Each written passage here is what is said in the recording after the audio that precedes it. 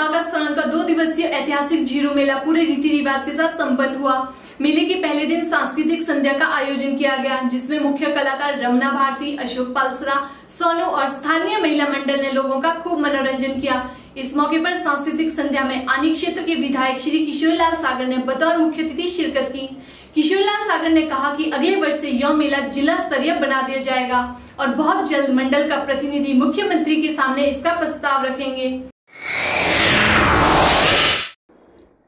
हिमाचल प्रदेश को देवभूमि के नाम से भी जाना जाता है। देवी देवता यहाँ के कण कण में विराजमान हैं।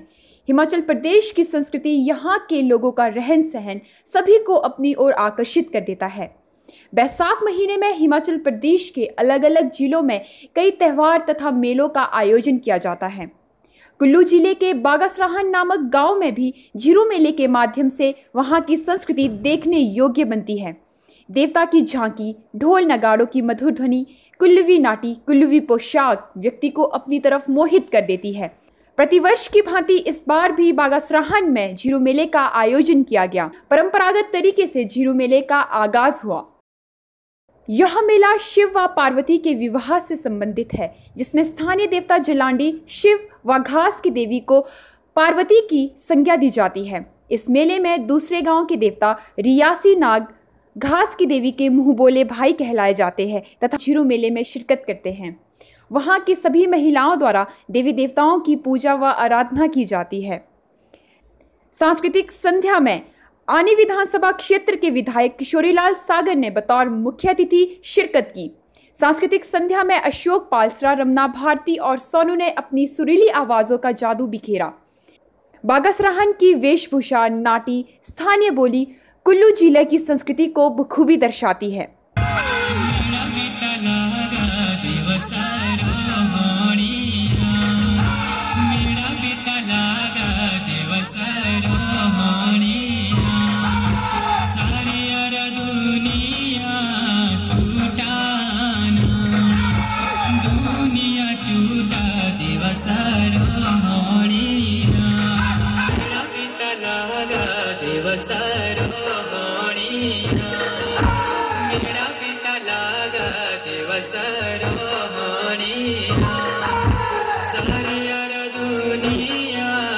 रोटा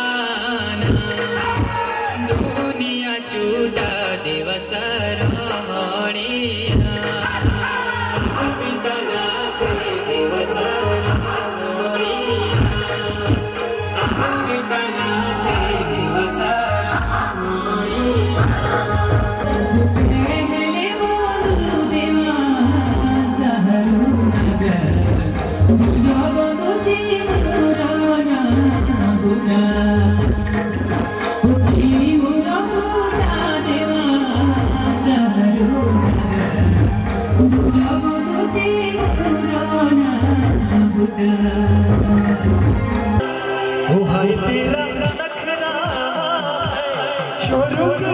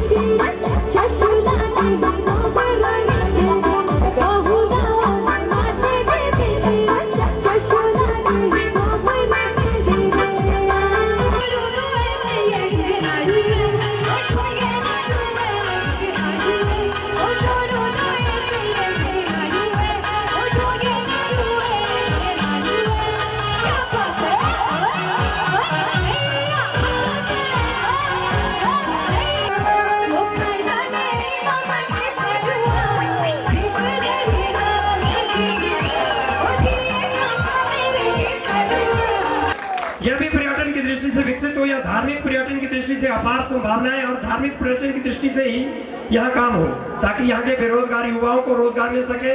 इसके साथ साथ हमारे, हमें प्रकृति ने प्रकृति ने इतने सुंदर उपहार से नवाजा है।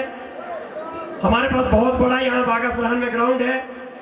उस ग्राउंड का हम लाभ उठा सके, उसका लाभ युवाओं को मिले, उसका लाभ स्थानीय जनता को मिले। ऐसा कुछ वहाँ पे करें कि वहाँ एक सुंदर सा खेल का मैदान हो। उस पे युवाओं को खेलने का मौका मिले, हमारे बीच में हमारे युवाओं को अपनी प्रतिभा को निखारने का मौका मिले ताकि बाहर जाकर के वो उस क्षेत्र का नाम रोशन कर सके। इसके साथ साथ टूरिज़्म की दृष्टि से भी यहाँ पे जितने भी स्थानीय लोगों ने यहाँ पे अपने अकोमोडेशन तैयार की है, उन लोगों को भी लाभ मिल सके, माताओं, बहनों को भी लाभ मिल सके। यहाँ पे हमारे देवता गिरशाही जी के प्रांगण में हम पूरे कोठी ब्राह्मगढ़ के लोग एकत्रित होते हैं। ब्राह्मगढ़ की नहीं बहुत से चार पाँच चौबीस कोटि सराज का ये देवता है और चौबीस कोटि सराज के देवी देवताओं का आना जाना यहाँ लगा रहता है। इतना बहुत बढ़िया कार्यक्रम पेश किया गया और इस सफल कार्यक्रम के आयोजन के लिए मैं अपनी ऐच्छिक निधि से इक्कीस हज़ार रुपये देने, देने की घोषणा करता हूँ। ताकि ये बहुत बढ़िया कार्यक्रम हो। प्रयास करेंगे कि यहाँ पर एक स्टेडियम बने बहुत बढ़िया बने। क्योंकि बैठने की यहाँ बहुत अच्छी व्यवस्था नहीं है। हम चाहेंगे उनके माध्यम द्वारा जब उनका यहाँ प्रवास होगा, हम चाहेंगे यहाँ पर बहुत बढ़िया एक स्टेडियम बने ताकि यहाँ प्रॉपर तरीके से आप सब बैठ सके। अगले दिन मेले का आगाज़ बड़ी धूमधाम से हुआ। इस मौके पर स्थानीय महिलाओं द्वारा निर्जला व्रत रखा जाता है और सभी देवी देवताओं का पवित्र जरी के माध्यम से स्वागत तथा पूजा अर्चना की जाती है। अधिक जानकारी के लिए आइए नज़र डालते हैं काजल जवान की रिपोर्ट के साथ। एमा पर्व आज के दिन लाने बस ला मेलो माल खतम हो गाई परि। आइगेहेलिया बुस्याज बुस भुताणी जरियो डुडुकु बरी डुडुकु बरियो। ডুডুকু বরি। হাই গে আলিও ডুডুকু বরি। উতাগে আলিও দেওনাগালে জরি দেওনাগালে জরিও ডুডুকু বরি।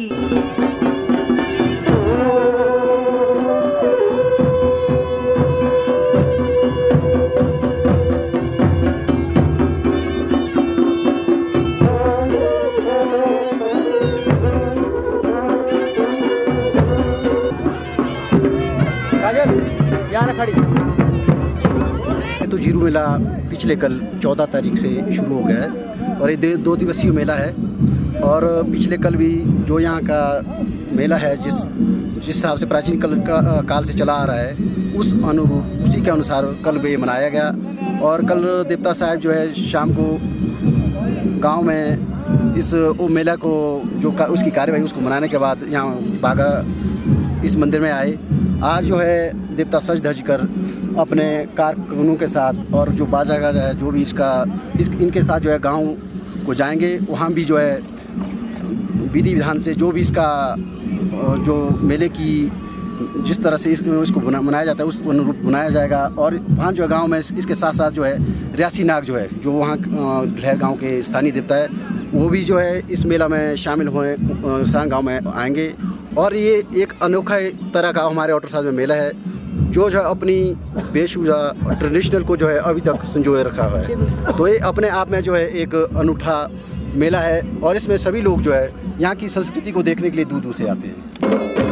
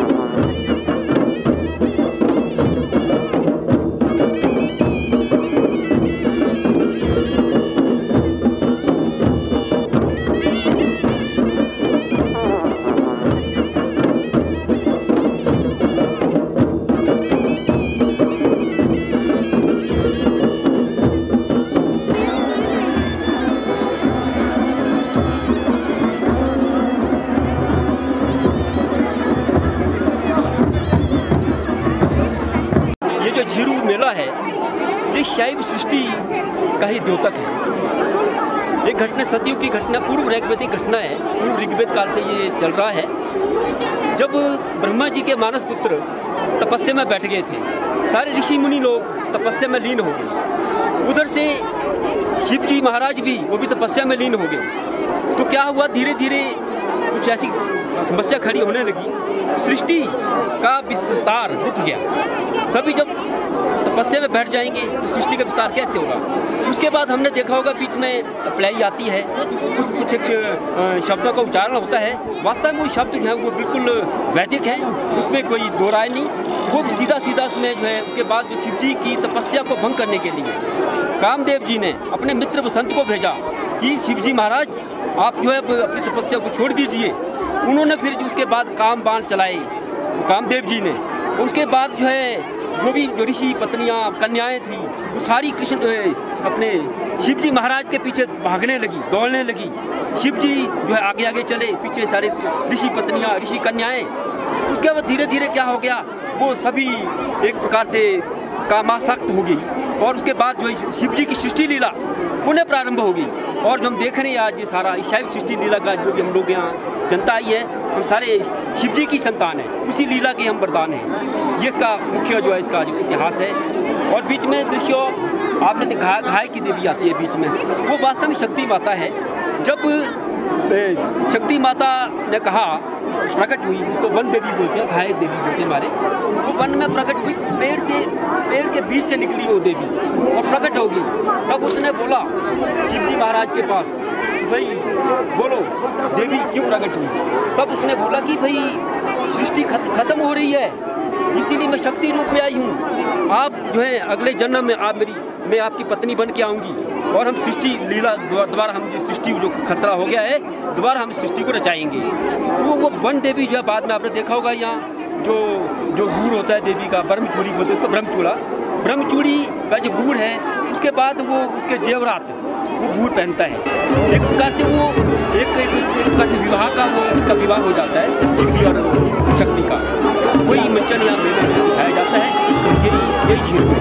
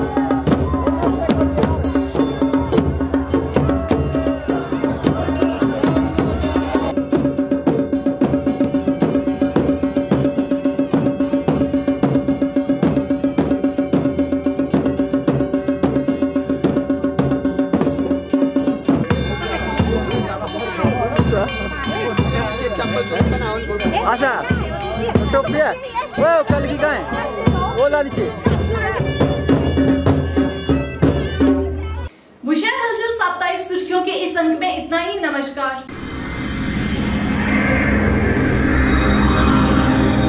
आप देख रहे हैं शहर हलचल टीवी चैनल पर शहर हलचल सुर्खियाँ।